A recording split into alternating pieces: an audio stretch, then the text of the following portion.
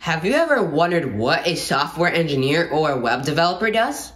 Well, today is your lucky day. In today's video, we will interview Mr. Adam Davis, who is a software engineer and a web developer. We will explore what he does for his job, and we'll even learn some cool things he has been able to do using his technical skills. Before we get started, be sure to subscribe to my channel and like all my videos. Also, remember to share my channel with your family and friends. Now, let's get started. Hello, Mr. Adam. Welcome to STEMAGEER. I really appreciate that you took the time out of your day to be here. I know that you're a software engineer and a web developer.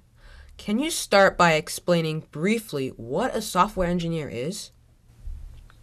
Yeah, so um, it's actually not too easy to explain. I always have a hard time explaining this to friends and family, but um, essentially what I'm doing is I'm a programmer. So I know how to um, I know how to write languages that computers are able to understand. So I write a set of instructions for the computer to follow, and um, and as I build those instructions larger and larger um, to do one specific task or multiple tasks, um, that's called software. And so, as a software engineer, what I do is um, I create these um, solution problem solvers, I guess, um, with computers, and uh, and I just kind of like architect those um, the I, the software. I, I'm not really sure how else to what else to call it um, that solves those issues.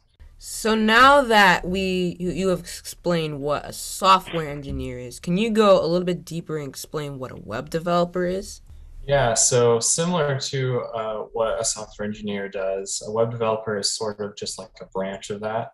Um, and they specifically develop software for um, anything that would be on the internet. So there are these things called uh, single page applications. So if you've ever used like Google Drive or even Facebook, um, um, it, now what you're able to do is like you can just be on one web page and navigate through all these different views and um, different like sort of mini apps within your website and that is all done um, through web development um, and I guess uh, what a web developer does is like if you have a company that needs a website and it's just um, just a normal website that has like pictures of the company and like how to contact them, a web developer can do something like that, um, or maybe something a little bit more advanced where it actually is a, a web application that would work um, just like a mobile app would, but it, it's displayed on uh,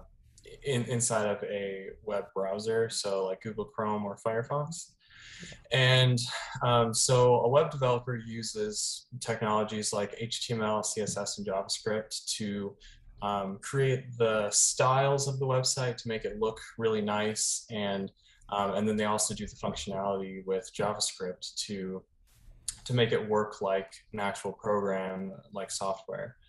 Um, so a web developer can kind of branch into one of three areas. Um, there's the front end, the back end, and then full stack, which is doing front and back end um, as, as a job, which is, it's a lot, it's a lot to handle, but um, I can just briefly explain what those are. So the front end of a website is everything that the user is going to see when they land on the website. So all of the colors, all of like the the boxes and images, all of that is laid out and put there by the front end engineer. Um, and so they're really responsible for like if the uh, if the user is on your website and they're just having a hard time navigating around, like they want to contact you, but they can't find the contact button, it's not where they are used to it being on other websites. Um, so that all of that stuff is what a front end engineer is concerned about just the ease of use. Um, and then the back end engineer uh, deals with data. So if the if the user is like typing in their email and their name and they're sending it into like a web form, for example, a backend engineer would take that submission data and then they would pull it from the front end into the back end and then handle it. And then they can send it to a server, to a database. Um, and then at any point, if the front end needs that information, like they want to display the user's name somewhere on the website, um, then they can pull from the back end and uh, and display it up on the front end for the user to see. Um, and then, like I said, full stack is just any person who does both of those things at the same time.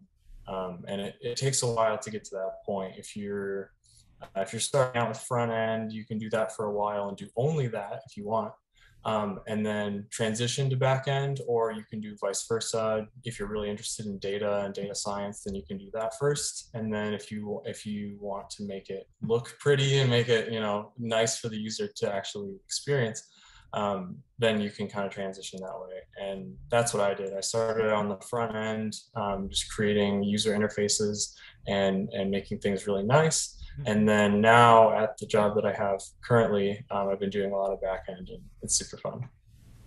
Well, that sounds really cool.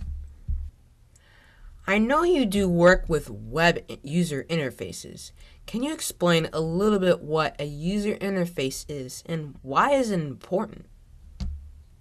Sure. So, yeah, user interface is usually um, it comes about through a uh, a person who's a web designer and what they would do is they create a mock-up in something like um, like Adobe. Uh, I'm not familiar with the Adobe products, but it might be Illustrator or um, something like that. But they would create a mock-up where it looks just like how the website would look, um, but it's just it's just images, and then they would send that over to the front end engineer, the um, just the web developer, and they would take that design and code it out so that it looked exactly like that, but it would actually perform on a website uh, as a website.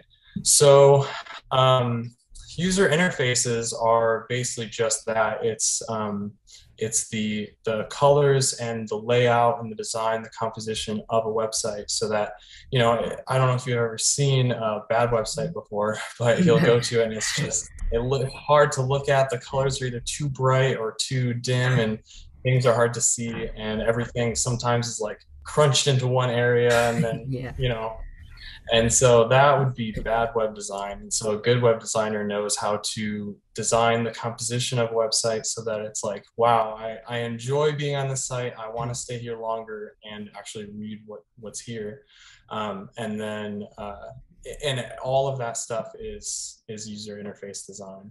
Um, I'm super into this stuff. I love user interface design. It's really fun, like just reading blogs about it, and um, it's really cool. Like it, it kind of gets into psychology, like what makes people happy to look at, and um, you know, even like if you have a box on on the screen, if it has really sharp edges, it's a lot harder to look at than if you just curve those edges a little bit. So just tiny little details like that um, really make a difference. Another important part of your job is software testing. Can you explain what software testing is and why it's so necessary? Yeah, so this is something that I have recently been getting into. Um, so when I was a freelance developer, so I just worked for myself, um, I didn't do this a whole lot because I was completely in charge of all of the code that I wrote. So I knew where everything was. I kept everything um, controlled, um, and it, because it was just me, I didn't have to worry about some other developer coming in, changing my code, and then me not knowing what's going on. Um, but now a, company with other developers, um, I have uh, I have learned how to do testing, which is like if you if you write an algorithm that does this, it takes in some data, and then it does a bunch of transitions and then it outputs some uh, the same data but changed.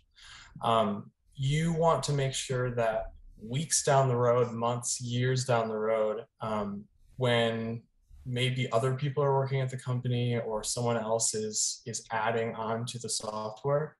Um, I mean, what happens if their code that they just wrote totally works for what for mm-hmm. what they wrote it for, but it now breaks that thing that you wrote a, a while ago, and you have mm. no idea why. All of a sudden, there's this giant piece of the website that isn't working, and no one knows why.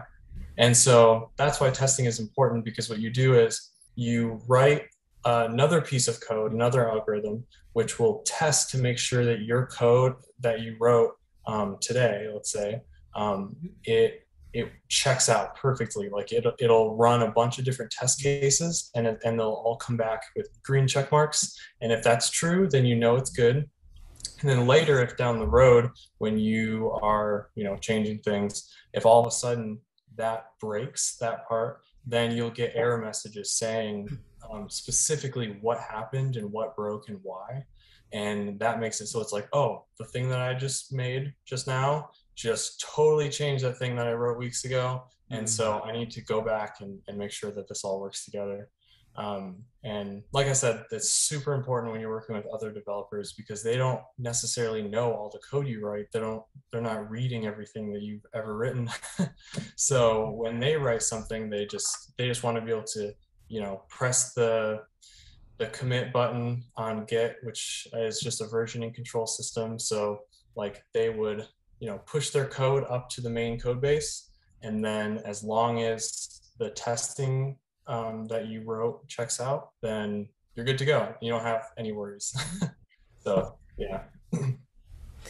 Yeah that sounds really important that when you're software testing that making sure everything works absolutely yeah so what does it take to become a software developer or a web developer for example, are there any classes that are important to take, or are there any subjects that you need to be good at? What kind of degrees or background do you need? Well, um, interestingly, you don't need any degrees uh, at all. So I don't have a degree, and um, it's actually really nice. Um, I, I did go to college for a while, um, and I was going for business and marketing, uh, which I thought I was really interested in. But always, like in the back of my mind, I knew I was interested in computers and tech. So um, after I left school, I had to figure out like what it is that I want to do.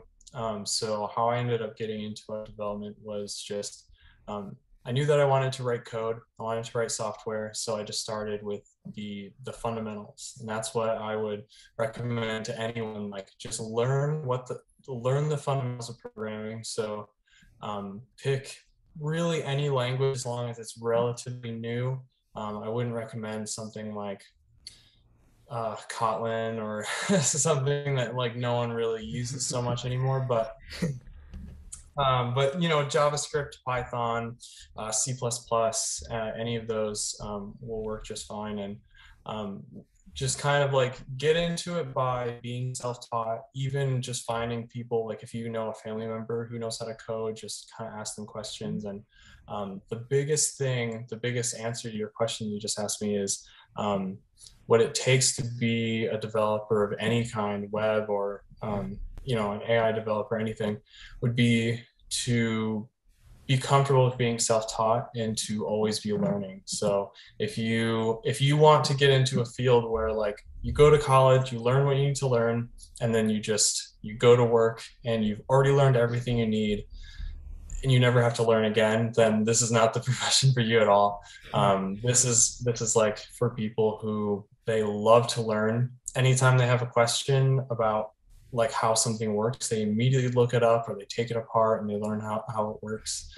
Um, for people who are really curious, um, people who just love computers, technology, um, how everything is connected and you can, you know, create multiple databases that all connect with each other and they can talk. And if, if that kind of stuff is exciting to you, then definitely check out um, software development in general, but maybe web development you might be interested in um, because it's it's extremely fun. It's a very artistic field. There's a lot of um, creativity in it. It's not so like strict. It's not all about math. You don't have to be good at math at all to do this. I I I think the highest level of math I ever reached was like algebra 2 and even that was a real struggle. Um, but through learning to program i learned all of the same stuff that you would learn in algebra like the logic and the reasoning and uh, handling like things that equal each other um, logical operators all of those things you learn through programming um, and so i mean as long as you are relatively smart if you if you care about asking questions and really getting the answer and and understanding things um, then yeah you, you have, definitely have what it takes for sure that sounds pretty cool how you can be a software developer developer or a web developer just by just be being curious right uh, mm-hmm. If you're being curious you can learn many things you want like how parts work, as you mentioned. Finally, can you share with us any cool facts about being a software developer or a web developer or any cool projects you may have worked on before? Um, well, some cool things about being a developer, like the reasons why I like being a developer, is that um, I am always coming up with these ideas of things that I wish I could have, but I don't necessarily want to buy, or maybe they don't exist yet. So some of the things I'm interested in is like the um, IoT or Internet of Things um, world, which is like having you know an app on your smartphone where you can tap a button and like three or four different light bulbs in your room turn on at the same time or like uh, you know you walk up to your house and it immediately knows that you are you you've arrived home and then it unlocks all your doors for you things like that. All of those things are now uh, able to be made by me like as long as you know how to just do basic programming um, and you're curious and you, you, really want to learn how this stuff works um, i mean you can make this stuff pretty easily um, so like one of the things that i'm working on right now that i'm almost have uh, complete, or else I could show you right now, um, is I built out a very small mobile website for for smartphones where um, it just has like a little picture on the top and then um, my name, and then under that is a bunch of different uh, like cards. Um, I guess more like buttons, and each one it'll say like, um, you know, LinkedIn. Uh, um, trying to think of what the other ones are. Just like my personal website. Um, I have a link to my bookshelf website, which just has a bunch of books that I'm reading, um, and then like a contact section, just like you know different links, um, and that's that's really all it is. And why it's cool is because it works as like a digital business card, and so I have some NFC tags coming in the mail that should be here tomorrow by the end of the day. And they're really tiny. Um, they're about 12 millimeter width. And so I'll be able to stick them, uh, or at least one of them, inside of my watch. And then if anyone, if they want to know how to contact me or they want to see my website or whatever, um, they can just tap the top of their phone right on my watch, and then my website will pull up on their phone. Mm. And so instead of having to hand people a business card and then they have to go to my website and see all that stuff, um, they can just tap and it's right there. So just like little things like that, just that make your life easier. Um, it's it's really cool to be able to like, you know, I just had the idea and within a couple days I had it made. Um, so yeah, that, that's just uh, a. it's just fun if you have a lot of cool ideas and and you love learning and building things. We really appreciate Mr. Adams' time and expertise. Hopefully you learn a few things about software and web development. Thanks for joining me in the STEMAGEER adventure. Please remember to drop a like and share this video and my channel with your family and friends. I'll see you soon in the next video. Thanks for watching.